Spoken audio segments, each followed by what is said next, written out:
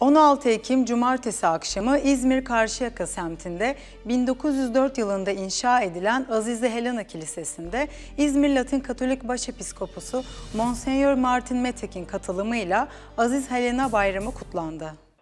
İzmir Karşıyaka semtinde 1904 yılında inşa edilen Azize Helena Kilisesi'nde İzmir Latin Katolik Başepiskoposu Monsenyör Martin Metek'in katılımıyla 16 Ekim 2021 Cumartesi akşamı Azize Helena Bayramı kutlandı.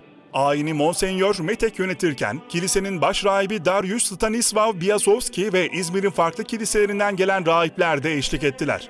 Özdeyişler kitabından sözler ve Aziz Pavlus'un Galatyalılara mektubundan sözler okunduktan sonra Diyakon Nikola Aziz Yuhanna tarafından yazılan Mesih İsa'nın İncil'inden sözler okudu. Ardından İzmir Başepiskoposu verdiği vaazında Azize Helena'nın hayatını anlattı. Aziz Yuhanna Katedrali'nde görevli Mesut Bey ilahi söyleyerek ve Serkan Bey ork çalarak bayrama güzel bir renk kattılar. Ayinden sonra kilisenin bahçesinde tüm katılımcılara ikram verildi.